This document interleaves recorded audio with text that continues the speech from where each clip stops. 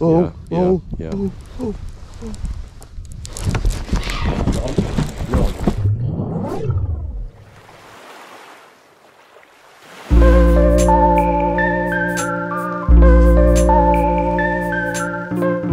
Good morning, fishing freaks. It is day two and a half here at Camp at Catch Camp. I got the coffee rolling right now.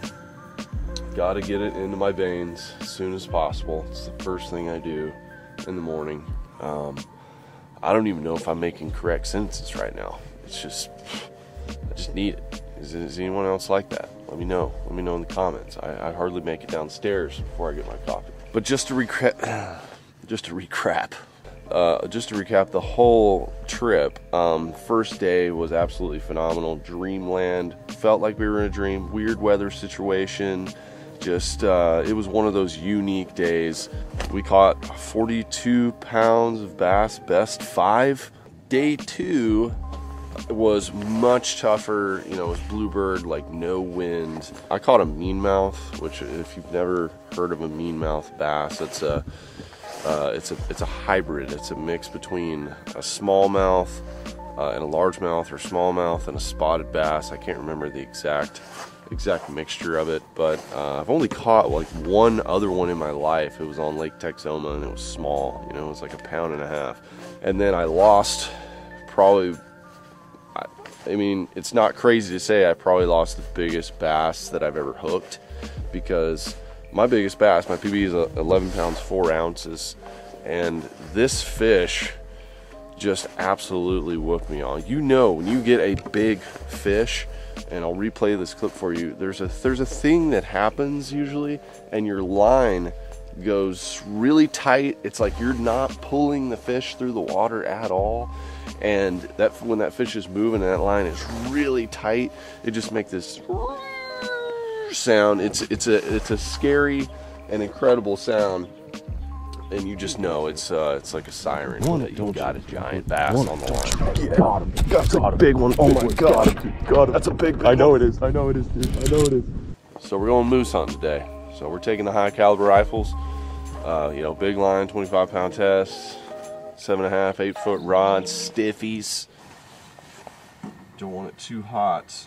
Oh, just lit my rag on fire. I've overcooked the water, John.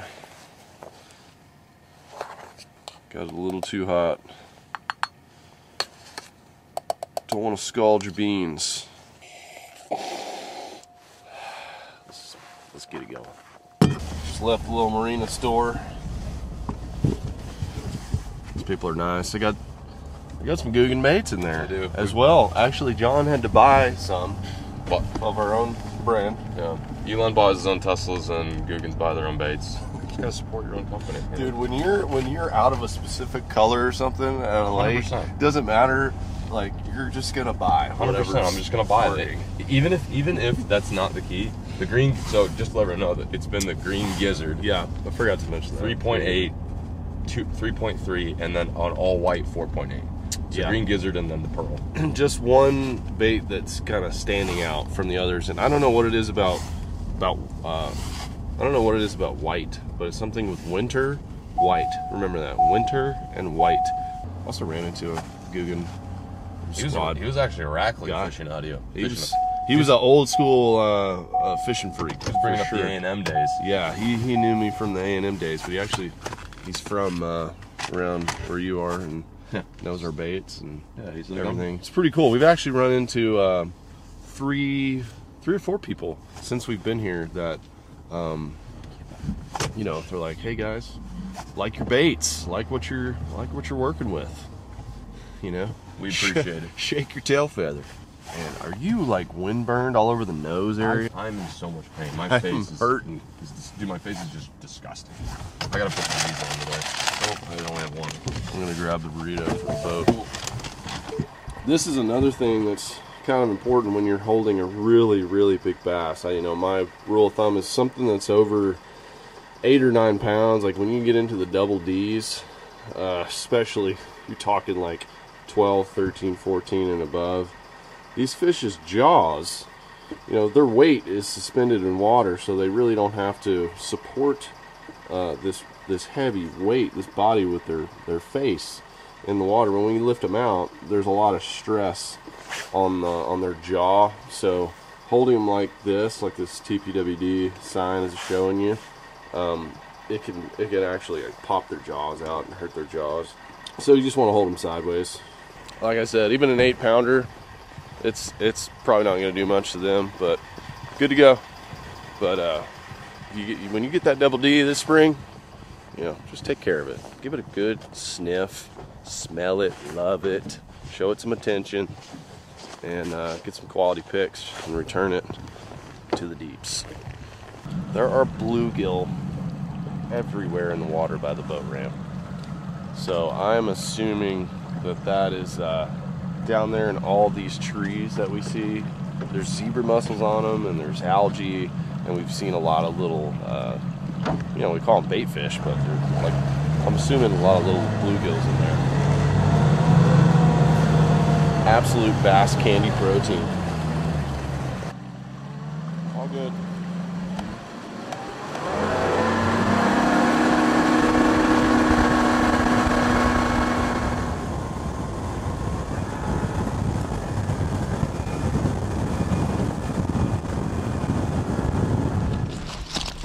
Let's get this part out of the way. Gotta eat a little food. Meanwhile, there's like 11 pounders showing. Long journey. Gotta just take a little bit of time just to consume a few calories before you grind all day. Oh. Me and John have fished daylight to dark both days. I Mm. don't think there's another human being on earth that is crustier than us right now. Mm-mm. Ooh, that's really good. Mm-hmm. They make it with love. That's the secret ingredient. Okay. Shout out to the Marina store. That's a really good salsa. I really? Yeah. I totally just forgot that Dude, I this happened last night. I, I totally forgot to. I'm an idiot. Okay, well, get all excited, eat your burrito, get your coffee, pick up your rod. It's an absolute blowout. Ooh. You hear one blow? Two heads are better than one. Oh yeah. Oh yeah, they're coming up for it, dude. They're coming up for it, I'm pretty sure. What was that all for? They they nosed. Oh, Their still- nose move. Their they move their nose to it. Oh, Just wake up, have that coffee, and eat that chandelier, please.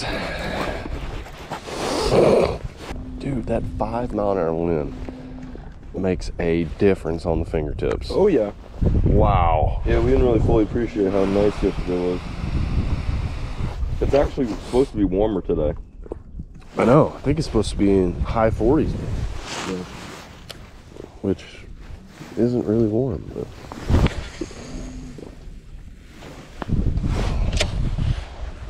If I get any kind of bite, this fish's jaw, You can just hit me in the face. I'm gonna, I'm gonna Mike Tyson this. Mike Tyson his scales off.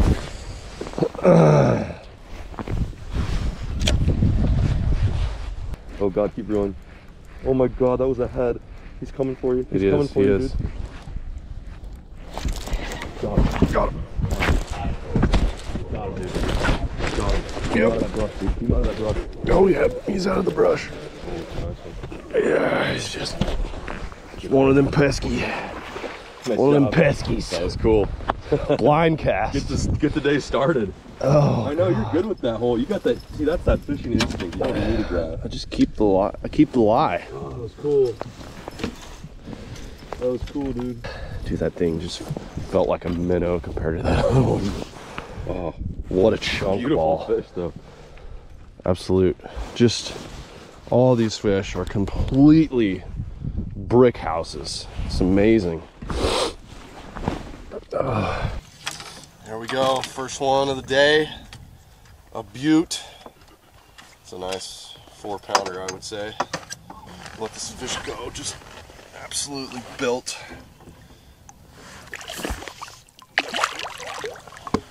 That one, um, bridged the bridged the right. He uh, closed the gap on you pretty quick. Did It was like probably. I I started just speeding it up, and I think that kind of helped, like just speeding it up. I don't know. It's low light hours, you know. Might fool a couple. If you guys have never thrown umbrella rigs, really the key is just just a steady retrieve. Just throw it out there and steady retrieve. We're watching this on the live scope, but really any bait that you throw in the early spring, these type conditions, you just want to, if you're fishing grass or whatever, you just want to reel your bait. Then you don't have to see it on the graph. You can feel it. Like if you're throwing a spinner bait or something, just kind of tick the tops. Just keep it right above because that's where the bait is, and they're hunting bait that's in this stuff. So if you keep it up here in mid mid water column, it's usually no good. You need to just keep it right there above. Where do you think? He's coming up already, man. Take a peek. Oh my god. Nice. Take a peek. It's a good fish. Take a peek. Oh yeah. If he was far away, Oh, oh, oh, oh, oh, gosh, dude, on. that's a big one. Hang on, we might have to do. Just keep it going. Oh, yeah, I needed an extra 30, 40 feet. That's when that long cast matters. That was a big one. Wow. He was interested. He heard the splash, and instead of like, I know. I know. That's there's another one. That was under us. Head, head, head. Get in there, dude. Big cast, big cast. At the head. At the head. Oh, there's two heads. Oh my. Oh my god, dude. Please. This is please. it. I think he already sees it. That one in the back, I think, sees it. Please. Oh. Oh. Yeah, oh. yeah, oh, yeah. Oh. Oh. oh. Little. Oh, come off. No. No. Those weren't little, man. Those are big. God. God, those were big. Did, did, you, did he eat it? He ate it. I don't know. Maybe I gave him the send the- full send too early. I don't know, maybe. Send the if you need to set the hook to the right, just do it. I'm backing out of the way when No, I'm good. I'm good either way. But no, it, it thumped it. Look, there he goes. Back. Oh my god, that's a nice one. See, normally I just keep reeling until I feel the weight, but now I'm like, I'm like, I think they mushroom stamp it. I'm uh, I'm a little co- more cautious. Like I want to get their head up. Yeah. As soon as they get on.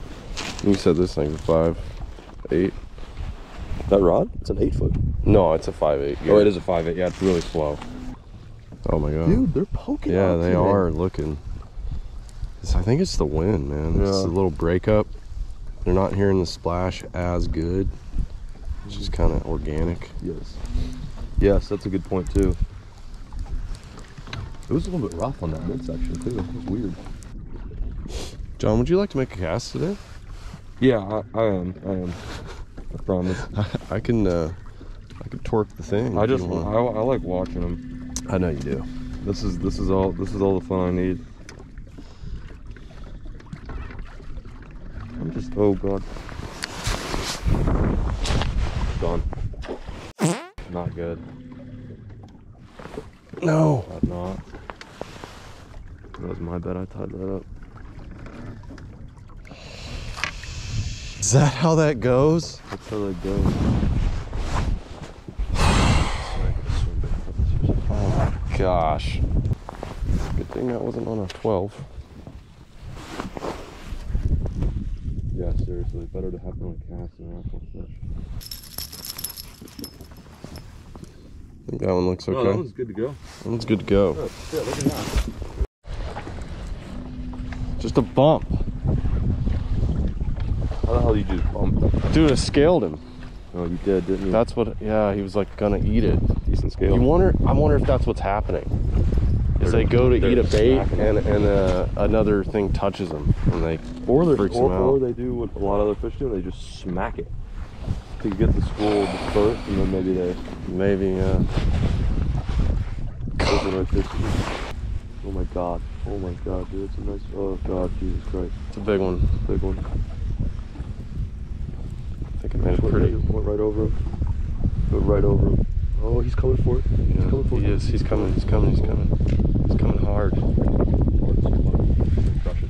He hit it. He hit it. Freaking hit it, dude. Bumped it. No. Yes. Just just a thump. Oh. What are they doing? I don't understand. They rush it and then like tail oh. pop it. So perfect. That was so. It's a Perfect. giant. It's a giant. He was screaming through the brush line. Yep. That's when they're gonna eat it when they duck down, like yours like a shark. Yeah. They go they go under under the radar for a bit. Oh my god, my heart. I need a pacemaker. Same. Oh my god. Oh my god. God. Oh my god. That's even bigger. Let it sink some more. Start rolling. He's right there. Right over his head. I think he sees it. Oh, he went the opposite way. That was a pretty good shot at a fish too.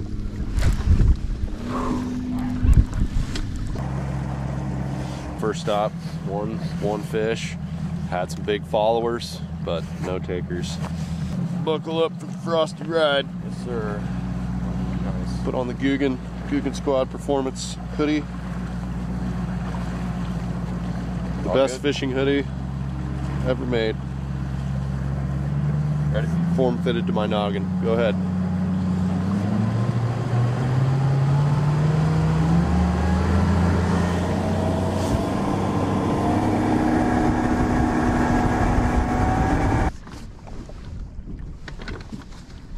Oh god. Nice one. Two nice ones. Three nice ones. Three nice ones. Yep. They're coming for it. Mm-hmm. They're coming for it. They're all over you. Yep. This is something tiny. I'm, I'm gonna slow reel, try to get another one. Oh yeah. What the fuck? That's what those little ones are with me. I was expecting to have a couple more on there. there was only a hundred. That literally felt like nothing. Like I, I was like, dude, is there even a fish on? Just, God, dude, compared to the The gorillas. absolute gorillas. Sometimes you get a little pecker nut, sometimes you get a giant. That's bass fishing, and that's the mystery.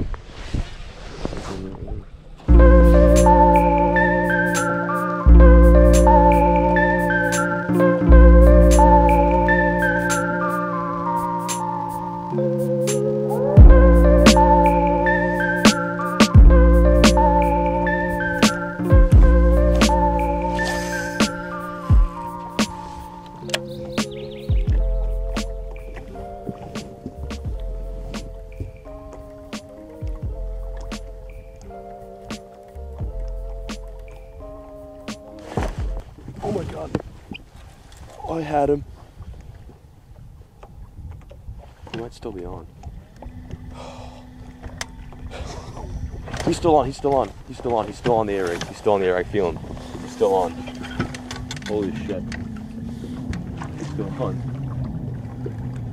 It's a decent one.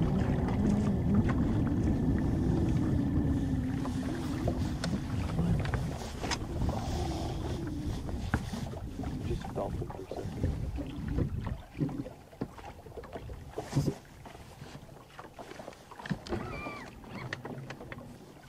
Let him out. He's right there. You see him? His head, his head is right there. Oh, dude, I, You see him? I think I do. He's not that big, I don't think. He's still on. The, so the boat shadow is. That's his head down there. you see him? You see, oh yeah, belly. yeah, yeah, yeah. You think I could reach him with a net? No, it's too deep. The fish is still on. Dude, is that a good one? Looks, looks pretty big. Like, could be, man. Who knows? You never know out here. It's so deep, I can't really tell. You see him? He's upside down now. I just see the white You see swim the bait. white? Yeah. This is so fun. Oh, that's him. I see him That's, it. now. That's what I'm saying. That's it Yeah. the whole time. I think it's like a three. You got him. Yeah, no. I don't. He's on just that single limb. Yeah, he's not that big. But still, be so cool. Oh, oh, he's You got him. just, oh, he's trying to come loose. He's trying his best to come. He just came undone. I got him. Got him. Net. No, the little guy. that was crazy. That was nuts. he wasn't even that big. I thought it was a good one the whole time. Well, it's so deep, I was like, it could be a decent one. That's crazy. I've never done that before. well, cool. That was. nuts. That was nuts. I was. I was like just filming John just to show you guys, you know, how locked in to the to the live scope he is, and then he just rears back. I'm like, oh my gosh, does he really have a fish? That was crazy. So fucking crazy. Wow, what dedication, man. I've never seen it like that before. absolute like button for sticking with it. Fishing freaks, it's been a hell of a run. Time to pack up the camper and head back in. We went hard with the jig here in the last hour of the day. Just trying to get something to bite in this brush, but it just seems like the way to get bites is keeping your bait in 18 foot of water, some sort of shad style bait, and it's about it's a numbers game.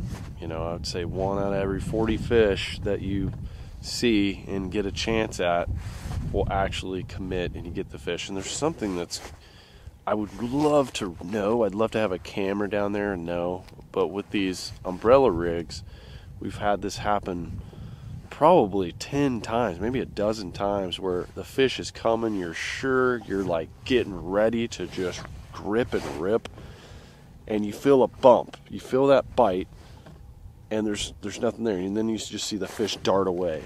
And I don't know what they're doing. I don't know if they're coming up and like slapping it with their head, like trying to injure it first or maybe maybe someone out there knows this. Maybe they are feeling another hook. They're going after specific shad on your umbrella rig and they feel another hook and then they shoot off because I did come up with a scale one time and made me think about that.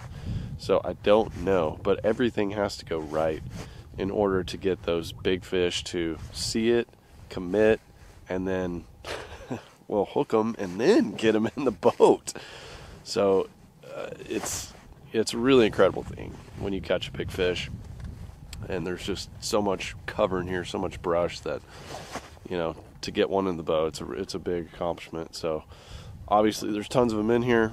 They're being caught. This is a special place, and it'll remain special for a while, I think, because of the amount of cover that is in this lake. But it's not going to last forever. So special lake. Glad uh, glad John convinced me to come down here in a snowstorm, and it's going to be one of my most memorable memorable fishing trips I've ever been on. Buzzer beater catch. It's a nine pounder. Oh, oh, they're all over. Oh my god, dude, they're all over. Oh my god, there's so many. They all came up. They all. I thought I lost. I lost my original fish. That was not the original fish. I lost my original fish, and this guy came up and ate it. As soon as I heard you get excited, I turned on the camera. Wow, that is two two day ending. Like, pa- I was packing it up. We were getting ready to go in, and John's like, "One more cast, one more cast, one more cast." That was a ten incher. The other day, it was a ten pounder that he ended on. So yeah, that that was not his last cast. I can promise you.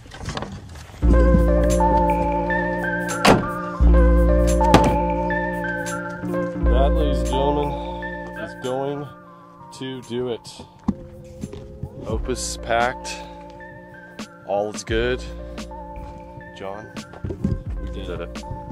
We freaking freaking did it. One of the most epic We wanted to bass trips ever. we wanted to do a little West Texas send before the baby came, and sounds like baby's coming. Baby's coming. Yeah, baby's- Just got off the phone. Yeah, I just got the phone, We're and baby's, ready. baby's coming, and uh, this was a good trip to not fish for a bit. This is, I feel content, I think, but I'm excited to go and do this again. I say that, but then like I'm gonna get home, and I'd be thinking to myself, how, where can we go next? The itch. The itch, I c it can never be scratched. It never can be scratched. Well said. Well said. All right, y'all. If you want to see more uh, camping and fishing videos, let us know in the comments. Gotta smash it for just an incredible trip out here. And stay tuned for more to come. God bless you in the great outdoors. We'll see you on the next one.